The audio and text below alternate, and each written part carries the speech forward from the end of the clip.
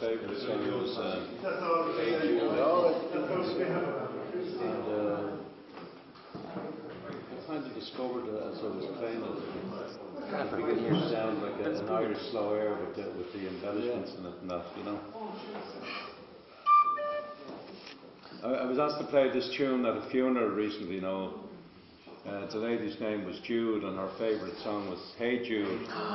But uh, I was playing it by the graveside, and I found myself instinctively putting little Irish embellishments on it, like an Irish slow air.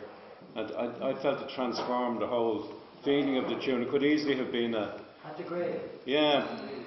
So I'll, I'll try and play it for you.